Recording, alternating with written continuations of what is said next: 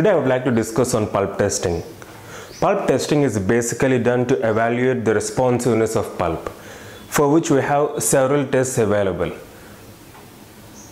Various thermal tests and electric pulp testing on one hand and pulse oximetry and laser Doppler flowmetry on the other hand do evaluate the responsiveness of pulp based on different mechanisms.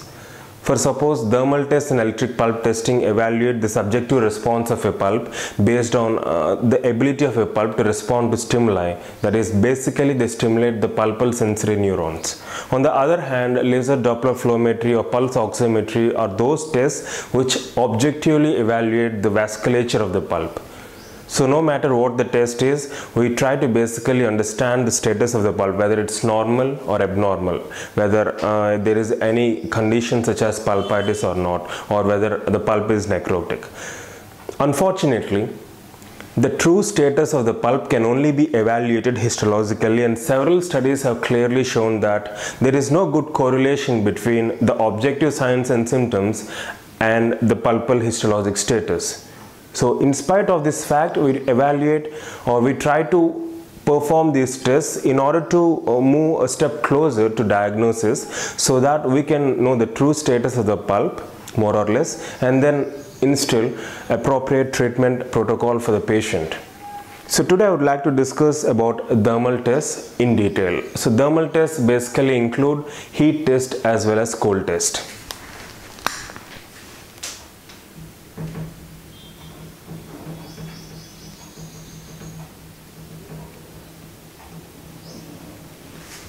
So thermal tests, before going into the details, whether the stimuli can be either hot or cold. So in our day-to-day -day, uh, life experience, we can clearly understand that the moment we take something which is hot or cold, we have a kind of sensation the moment there is stimuli. And that kind of sensation disappears or vanishes as soon as we uh, get rid of that stimulus or we remove that stimulus. So in a normal scenario, there is some kind of responsiveness to hot or cold which clearly indicates that a tooth is vital. But on the other hand, what if there is some kind of pulpal pathology and what if there is some kind of periapical pathology in a given tooth or in an offending tooth? In those abnormal cases, the moment we apply stimuli, it can be either hot or cold, there can be different kinds of responses like the moment we apply a stimuli, hot or cold, on an offending tooth, there can be no response or there can be excruciating pain which intensifies even after removal of stimulus. So different kinds of responses are seen when we perform these tests. So we need to have a brief understanding of these responses so that we can elicit our tests accordingly. So first I would like to discuss in detail about heat test and then I'll move on to the cold test. Heat test. So when is this heat test performed exactly? Heat test is performed exactly in those cases where patient complains of pain especially while taking hot food or liquids. So in those cases we limit this test and this test mainly helps us to identify the offending tooth and it helps us to identify whether a tooth is normal or abnormal and doesn't give us the vitality status of a particular a given tooth. So this has to be kept in mind. Heat test doesn't help us to evaluate the vitality. It only gives us an idea whether the pulp is normal or abnormal. So after understanding this, we need to follow a specific protocol in order to perform heat test. As obvious, there are several materials available in order to perform heat test. It can be either hot water, heated gutta percha, impression compound, frictional heat generated by rubber discs, etc. So no matter which material or methodology you, we use, we need to follow a specific protocol in order to perform these tests. So first let's see what the protocol is. So if we want to perform heat test, if a patient complains of pain in lower right back tooth region, that is in the fourth quadrant, then we need to start from the posterior most tooth in that particular quadrant and then move anteriorly. For which rubber dam isolation is mandatory and we need to isolate each tooth individually and wait for the response.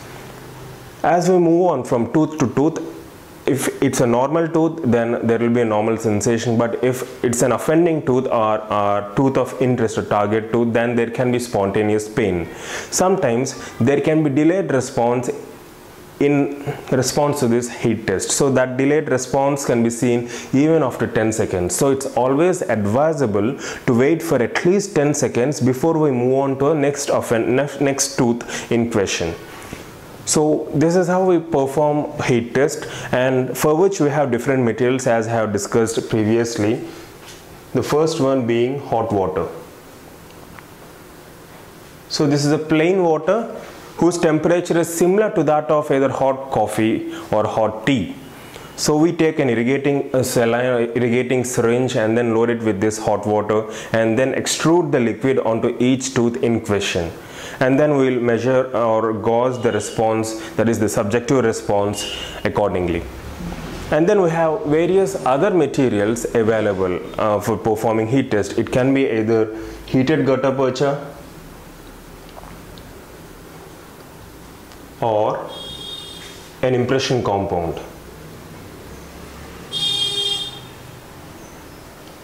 So either heated gutta percha or impression compound can be used to perform heat tests that are applied in the mid-facial region of the tooth in question. No matter which test you perform, always keep in mind the fact that we need to test the adjacent as well as contralateral tooth in order to obtain a baseline data or baseline response to that particular patient. Care has to be taken before applying either heated gutta percha or impression compound because uh, there is a tendency for these materials to stick onto the tooth. So for which we apply a layer of lubricating solution before applying these materials. And then we have frictional heat uh, where wherein we can create frictional heat using rubber polishing cups so rubber polishing cups which are rotated at very high speed in dry conditions on a dry tooth generate do generate some kind of friction leading to generation of heat based on which we can gauge the response accordingly. So this test that is uh, rubber rubber cups. So frictional heat generated by rubber cups this test is seldom used nowadays because we have other better materials to perform this heat test. So this is in brief about heat test